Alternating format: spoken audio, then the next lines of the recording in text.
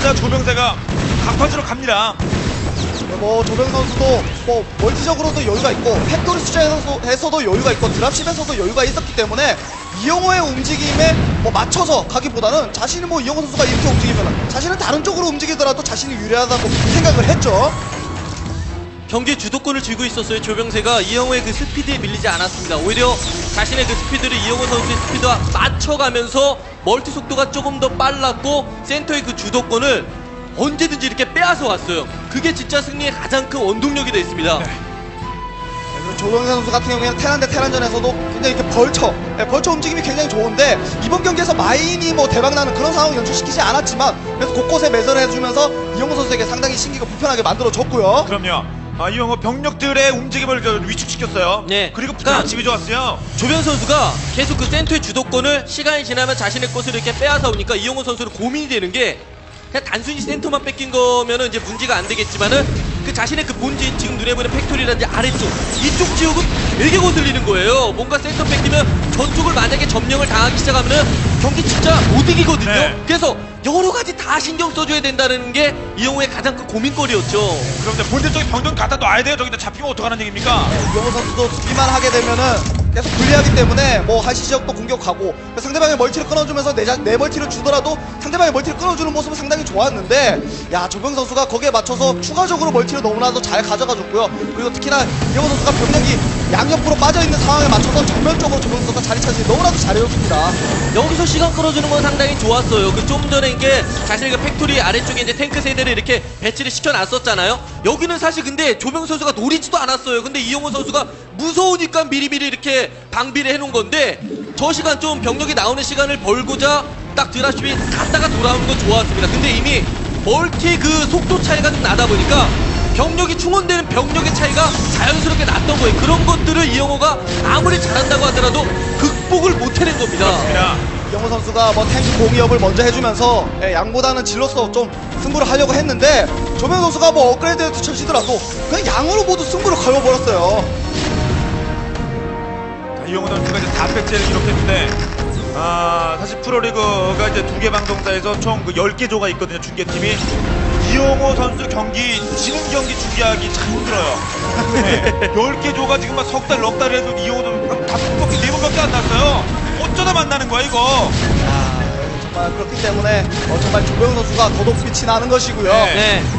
그 이영호 선수가 9시 멀티를 돌리는 쯤에서 무난하게 그냥 순조롭게 돌렸어야지 이 경기를 이제 승리할 수 있는 어, 기반이 마련이 되는 것인데 어쨌든 오늘 안타깝게 됐습니다. 올킬 바라고 나왔는데 올킬 생각하고 나왔는데 무너졌어요. 네. 한 달에 한 번 지는 이영호. 자, 오늘 무너지고 말았 건데, 자, 두 명의 선수를 제압했거든. 다른 동료들이 마무리해 줄 것이라 믿을 겁니다. 근데, 아, 미너스 리그 산하의 조병세. 이재동 잡고 완전 탄력받고 올킬해버렸고. 네. 그리고 그 이상의 지금 그, 만약에 조병세가 상대 능력 흡수할 수만 있다면, 5kg 분위기 이영호 더 세거든요. 그때 이재동보다. 그렇습니다. 상대의 가장 강력한 카드인 페트로스의 이용호를 잡았기 때문에 그 이후에 조명 선수는 이후에 뭐 올킬까지도 생각을 할 거예요. 특히나 위너스 리그에서 4승 2패로 그냥 힘내서 굉장히 좋은 우수한 성적을 거둬주고 있기 때문에 이번 경기까지 잡고 싶겠고 특히나 신맵인 만큼 네, 정찰 상당히 꼼꼼하게 해줘야 됩니다. 네. 자, 이에 맞서 이제 김덕 선수. 아, KT가 갑자기, 아, 토스 명가, 토스 상관없기로 바뀌고 있어요. 그 강- 강력한 토스들이 계속 튀어나오고 있어요. 그렇습니다. 그 KT 롤스터에서 우정호 선수 다음으로 이제 가장 충만받는 그런 신인 선수 바로 김대엽 선수거든요. 김대엽 선수가 단기간에 실력이 많이 늘었습니다. 저랑 뭐 같이 숙소 생활을 했었을 때도 어, 불과 뭐 몇 년 되지도 않았는데 그때도 약간 좀 막 어리버리하고 그런 느낌이 좀 있었거든요. 근데 이제는 실력이 어느 정도 많이 올라와 있는 상태예요. 스타리그 예선은 얼마 전에 아쉽게 탈락을 했습니다만은 어, 타방사 개인 리그도 올라가는 듯 여러 가지 기량이 발전되는 모습을 보여주기에 지금 딱 이영호가 무너진 다음 타자 이렇게 나온 게 아닌가 싶습니다. 그렇습니다. 김대 선수가 조병세만 잡아준다면 그 다음에 나오는 김정호, 김정호 스나이핑은 충분히 가능한 KT거든요. 과연 신의 김대훈 제압을 할수 있을 것인지 심판의 날 경기 보죠. 자,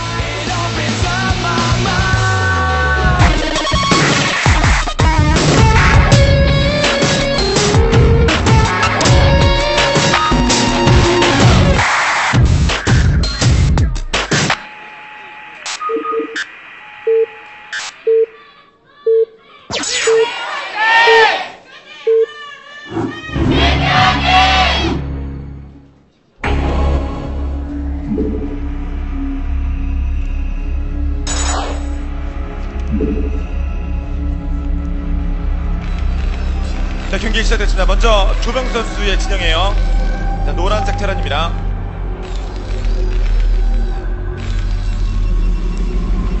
그리고 이에 맞서는 프로토스 김대엽이에요. 붉은색.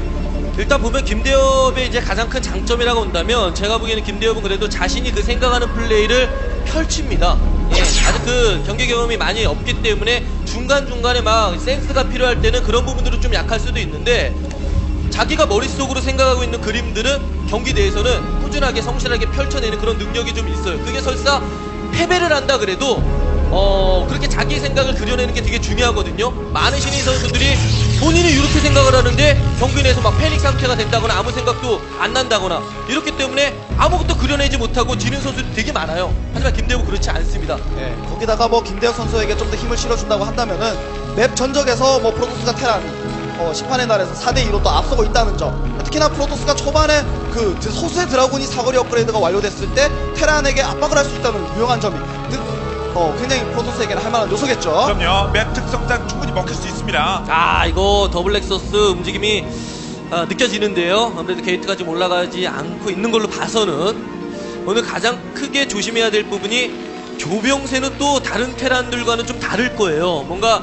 어, 자기가 생각한 대로 똑같이 build tech는 조병세가 올라갈지라 지라 올라갈지라도 뭔가 그냥 공격하고 싶으면 공격하는 선수가 조병세고 그냥 방어하고 싶으면 방어하는 선수가 조병세거든요 틀에 박혀 있지 않습니다 네. 자, 그런, 뭐, 그렇기 때문에 이영호 상대로도 오히려 끌려다니는 것이 아니라 주도권을 잡고 결국 이영호를 그냥 그 내쳤습니다. 아, 이렇게 되면은 네, double Nexus를 가져간 김대엽 선수에 반해서 조병세 선수의 그 정찰 타이밍이 상당히 중요하고요. 정찰 방향 또한 방향 또한 상당히 중요합니다. 여기서 첫 번째 정찰이 아니라면은 마지막 정찰이거든요. 네. 지금요. 아무래도 그래도 보통 첫 번째 정찰이 세로로 이제 가게 되는 경우가 아, 많은데 세로로 어, 갑니까? 예, 세로로 앞서. 진영아도 넥서스 빨리 가져가, 가다가 바로 움직나 했거든요. 예. 네, 이렇게 된다면 가서 바로 뭐 조병 선수 뭐 앞서서 이영호 선수가 보여줬듯이 예, 치즈러시 충분히 하는 선수거든요. 자 근데 자 프로브 어 프로브도 마찬가지로 세로로 가네요. 약간 좀 걱정이 좀 되겠는데요. 아 이거 초반에 정찰이 되나 마지막에 야, 정찰이 됐으면 예. 되게 좋았을 텐데. 이건요, 김, 어, 조병세 선수 cheese rush 생각하면 안 됩니다. 첫 번째 정찰 프로토스가 바로 또 올라가서 probe 정찰 하잖아요. probe 빼놨다가 cheese rush 오는 타이밍에 pylon 하나로 막아버릴 수가 있어요. 아, 이게 근데 일단 예 팔로로 지금 막아도 네. 일꾼이 나갈 것 같거든요. 아 상대편에 빠른 걸 봤는데 조병세의 판단은 뭐죠? 오, 네. 자, factory는 순조롭게 올라가야 됩니다. 예, probe를 살려놔야죠. 바깥쪽으로 빼놨다가 상대방이 혹시라도 cheese rush가 올 때, 요, 다시 또 pylon을 건설해주면서 막아줘야 되니까요. 네. 아, 가네요. 예, 아, 이렇게 네, 되면은 그- cheese rush 나갑니다. SCV는 통과를 하지만. 이후에 vulture가 못 나오게 파, 그 pylon으로 건설할 수가 있거든요. 김대, 어, 근데 김대엽 선수가 파- probe를 너무 멀리 아니, 가는데요. 옆으로 빼놓고 vulture 나올 타이밍까지 기다리는 겁니까? 예. SCV는 어차피 그냥 보내고. 자, 일단- 막으러, 길 막으러 가요, 길 막으러. 예. 일단은 probe가 아 그 물 건너갔어. 일단 probe로 이제 막 들어가서 견제하는 거지 물 건너갔고 그냥 probe가 이제 나와서 막아야 됩니다. 야, 이제. 예, 조병세 선수가 맞춰서 SCV hold 해놨어요, 아, 지금요. 야, 건물 못. 들어가요. 건물 못 들어가요. 자, 지금 자, 뭐- 문제는 뭐- 이제는- 보고 말고 상관이 없습니다, 지금요. 예. 미네라 그 클릭 잘해가면서 클릭했어요. 네. 미네라 클릭했어요. 조기에 막아야 됩니다. 조기에 이렇게 빨리빨리 막아야지. 안 그러면은 진영아 선수가 당했던 것처럼 똑같은 그림이 나오거든요. 야, 이거 중간에 좋아요, 좋아요. 중간에. 오. 브로킹 중에 브로킹 중에요. 질럿이. 자. 벙커준다 SCV 잡았어요. 네. 야, 앞쪽에 벌처가, 벌처가, 벌처가 어느 정도 와줘야지. 네, 확실하게 벙커를 완성시킬 수것 네. 잠깐만요. 주변에 어디까지 옵니까? 막는 그림인데요. 이거 자, 아, 아직은 모르겠습니다. 아직. 풀어. 아, 이거 막았어요. 네. 네, 이거 막았어요. 들어가 두 개나, 들어가 두 개나 나왔어요. 이 정도 데미지를 안.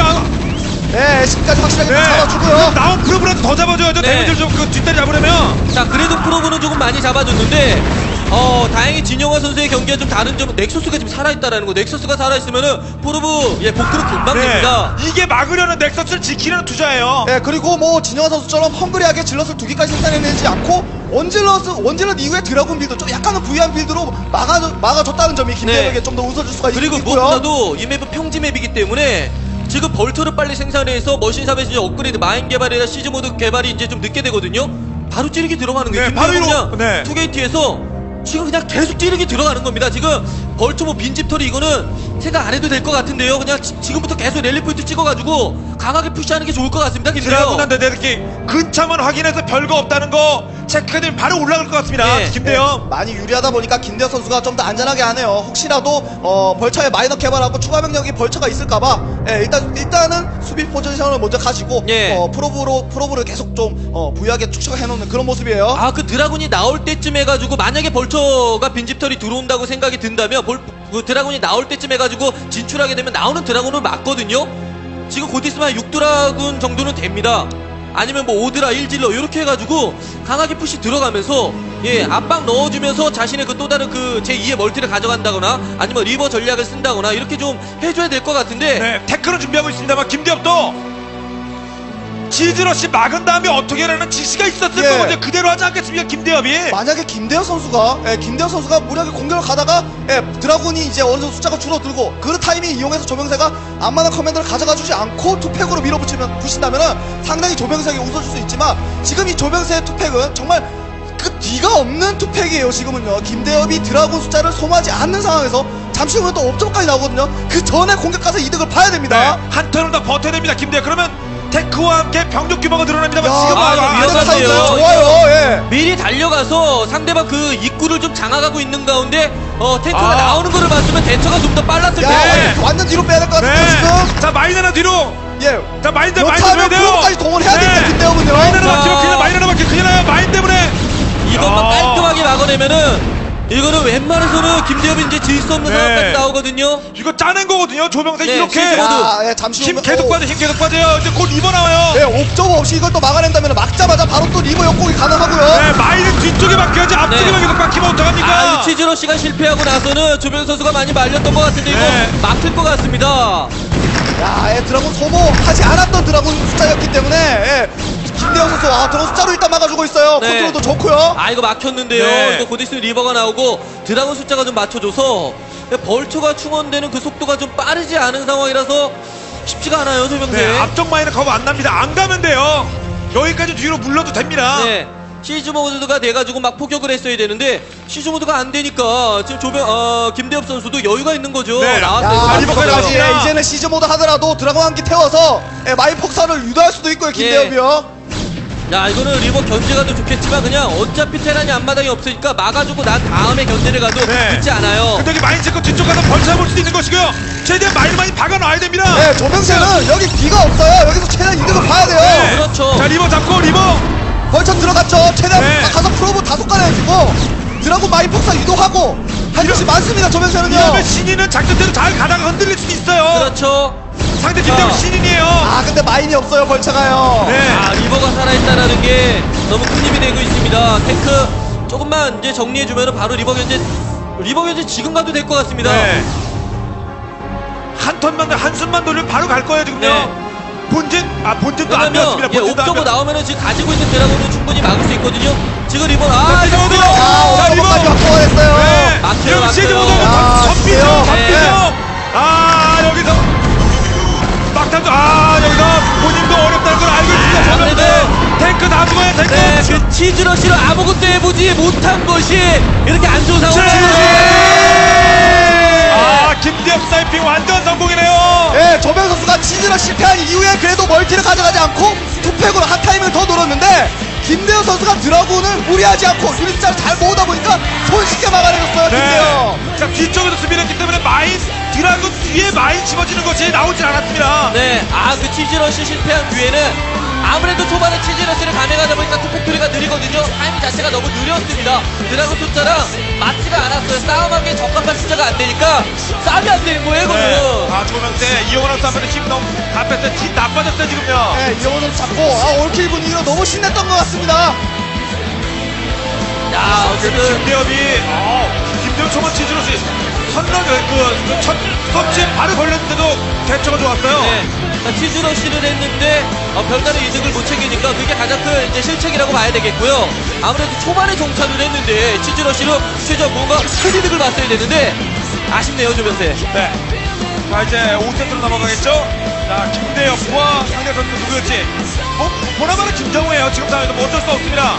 네, 더 이상 카드가 없겠죠 김대현 선수가 이영호 선수가 없기 때문에 뭐 나머지 나와서 좀 승리를 좀 걷어줄 필요가 있겠고요. 네. 그래도 조병세 이영호를 경기석에서 쫓아냈습니다. 네. 이것만 했으면 이제 나머지는 김정을 다시 역할을 해줘야죠. 지금부터 김정을 3킬로 내야지 이게 기본 아니겠습니까? 그렇죠. 뭐 테란 카드도 있겠지만 KT에서 만약 김정호 선수가 나왔을 경우는 지금 이번 세트가 토스전이고 또 우정호 선수가 나올 수 있는 확률도 좀 굉장히 높거든요. 아니면 박찬수라든지 뭐 배병우라든지 저그전이나 토스전을 할 수 있는 가능성이 좀 높다 보니까 김정호도 자신감 있게 이렇게 나올 수가 있을 것 같습니다. 네, 그리고 김정호가 나와야 됩니다. 딱, 이, 아무튼 이영호가 없어요. 상대편이 뭐 첫 번째 시작은 두 번째 시작은 이영호가 없다고 한다면 마음 편합니다. 조명세도 마음 편, 치고 내려오는 조명세 마음도 편할 거예요. 예. 이제 김정호 씨를 놔야죠. 보나마나 김정호예요, 김정호. 미리 그냥 네. 가장 끝에 앉아있네요. 나오려고 준비하고 있었어요. 김정호 나와야죠. 어제 경기 마지막에 윤용태라고 신상고 나와야 되는 것처럼 오늘은 김정호가 나와야지 결국에 그림이 나오는 거예요. 네, 김정우 선수 정말 좋은 기회를 맞았습니다. 네, 마지막 이경호 선수가 없는 상황에서 3킬 딱 하면서 마지막 시즌 선수에게 승리를 가져다 줄 수 있는 상황. 네, 누가 겁나겠습니까? 지금 상황에서 요즘 김정호의 분위기라고 한다면요, 이호가 고맙게 없, 없는데요. 네, 어쨌든 하지만 KT는 한 점만 따내면 이제 CJ 잡을 수 있기 때문에 여유가 좀 있는 상황입니다. 그리고 또 김기현이 김정우를 꺾어낼 수도 있는 거예요. 근데 어, 우리 김정우가 확실히 이호가 없으니까 발걸음이 좀 가벼운 느낌이에요. 그렇습니다. 아, 이제 5세트로 넘어갔습니다. 김정호, 김대민 대결 어느덧 CD는 마지막 칸까지 왔습니다. 하지만 KT는 팀의 전력의 3분의 2 이상을 차지하는 이영호가 없습니다. GJ는 김정호만 남았고 KT는 이영호가 없습니다. 결과는 어떨지 지켜보죠.